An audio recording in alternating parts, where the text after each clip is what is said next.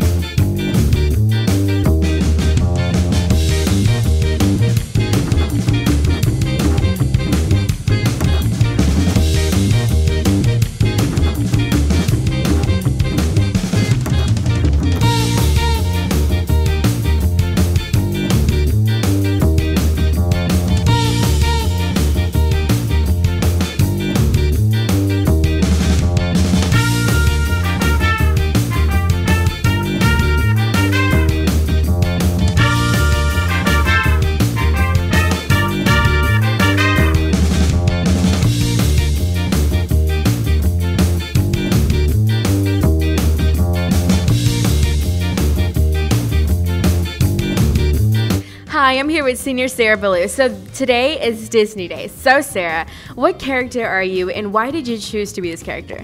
I'm Belle from Beauty and the Beast. I chose to be this character because I look like her and I had the outfit to play her. Awesome. So can you reenact your favorite moment in the movie? No. Okay, thank you. Hi, I'm here with senior Morgan Foot. So Morgan, what character are you today and why did you choose this to be this character?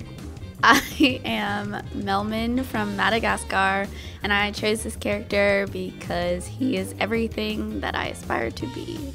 Oh, and I bet that outfit's really comfy, isn't it? Yes, it's very comfortable. Thank you. I'm here with Amber today. She also dressed up for Disney Day. So Amber, what did you dress up as? I dressed as Ariel when she's a human.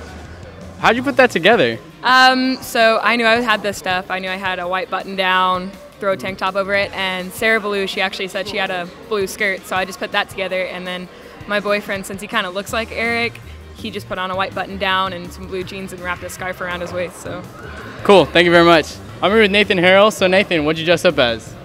I dressed up as the hunter from the beginning of the movie Bambi. So have you actually seen the movie Bambi? Uh, no, I have not. What's your favorite Disney movie then?